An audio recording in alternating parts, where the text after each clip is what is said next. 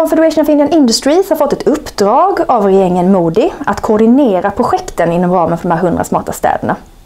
Och vad man gör då är att man tecknar strategiska samarbetsavtal med olika länder som är framstående och duktiga på det här området och vi är det första nordiska landet som man nu tecknar avtal med, det sjätte i ordningen.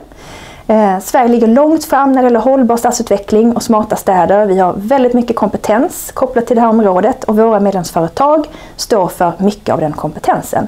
Det är alltifrån eh, transportsystem, biogasdrivna bussar, avfallshanteringsfrågor, ICT, eh, allting som egentligen rör eh, framväxandet av en smart stad.